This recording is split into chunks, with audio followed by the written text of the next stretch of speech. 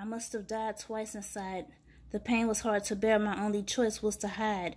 They tell me I need to pick a religion. I'm lost with no vision. Since then, I've come to head with decisions I mentioned. Gone are the days when my mind was full of rage. Gone are the days of cussing cats clean out on the page. Gone are the days of pouring my heart out on a stage. Gone are the days when my world was full of beige. I'm on a different level now. I'm better now. I no longer settle now, not a boiling kettle now. I found more peace inside. It was turbulent, unfortunately. The old me had to come back. It was for her defense. I miss her. I hope to take one last fulfilling breath. I hope to resurrect myself from this death.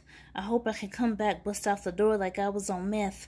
I hope I don't lose my mind again like Lady Macbeth. Instead, I rise like tides. I keep my head above water. Somebody's daughter about to drown, struggling. It's about to get harder.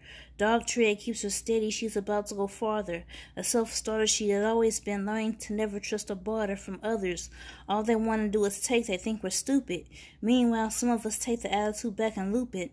On you, we see right through. Still back to the community. Monkey see, classify, monkey do. I take it back to the hood where my people are thriving.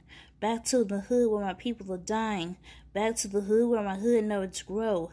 Back to the hood where we take propaganda blows, I suppose. We got institutions to keep the fire inside us growing. We got fake emperors clothed with the dirty underwear showing. We got pastors who shaft us only interested in glowing. We got black faces racist against their own pockets stay swollen. I'm hoping this generation learn to keep accountability at first hand. I'm hoping this generation learn to lead, never the grandstand. I'm hoping this generation learn to keep themselves out of the frying pan. I'm hoping this generation learns to never sell people out for dollars by praising another man. I'm hoping this generation learn to keep true. I'm hoping this generation learn by watching others keep honesty first before making it do what it do. I'm hoping this generation learn to never go to sleep.